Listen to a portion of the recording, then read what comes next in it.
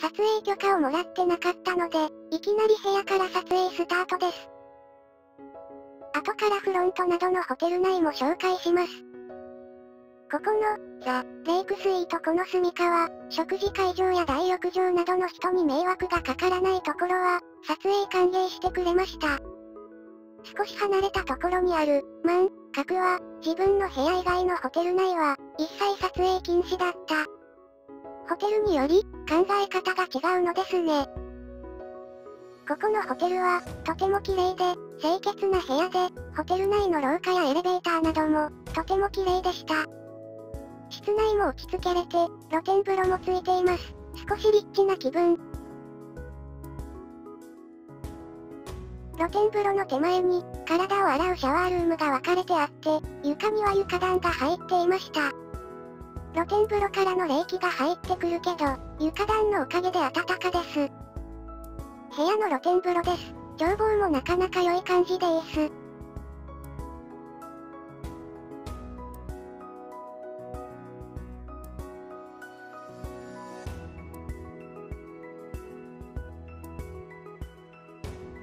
ベランダも広くて、白いソファーが据え付けられています。椅子の横にはライトがついていました。豪華な感じです。部屋からの洞爺湖の眺望。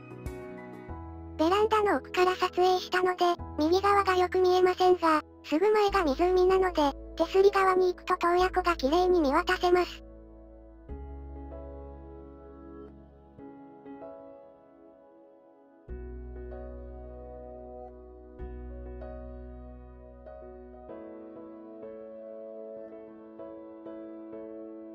シャワールームです。洗面台は2つついていました。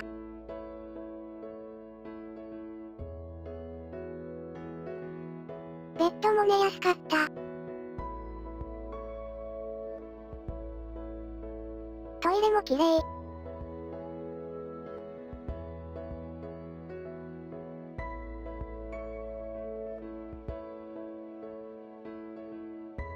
空気清浄機もあります。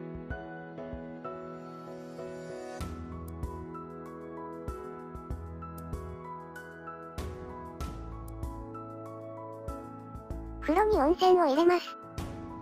このボタンを押すと温泉が出てきます。上下、お湯を出すボタンで、下の蛇口をひねると水が出ます。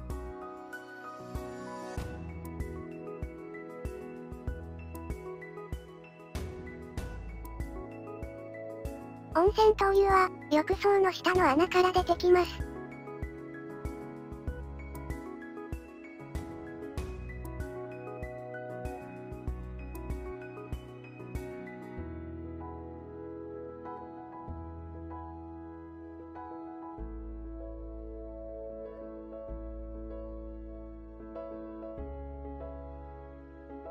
ホテル正面入り口です。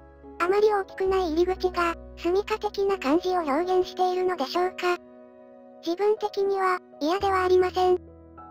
正面入り口の自動ドアを入ると、両側に滝が流れています。今まで行ったホテルは、大きな入り口で、入ると、すぐにロビーだったので、違う趣で高級感を感じます。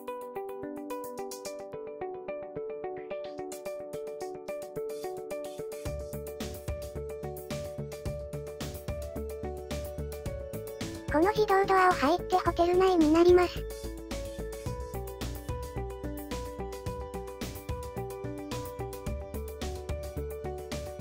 このドアの向こう側に、フロントがあります。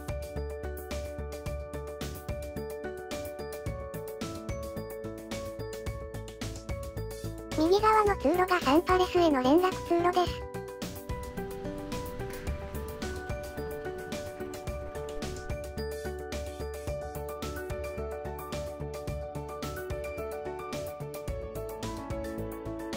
この自動ドアは、この住処側からは開きますが、サンパレス側からは、この住処の部屋のルームキーカードをかざさないと、開かなくなっていました。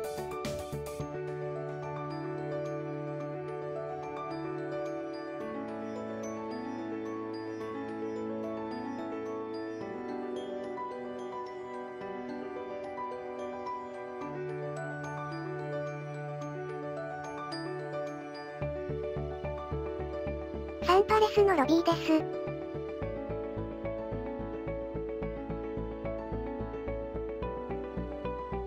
広いですね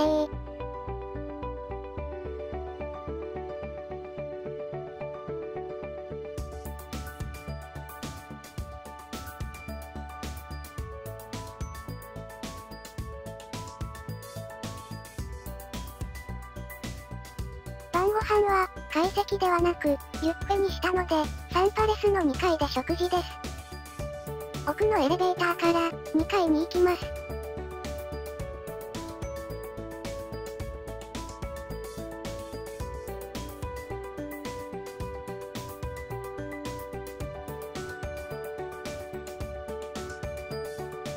奥に雪だるまと写真を撮れるところがあります。食事の後に見てみよう。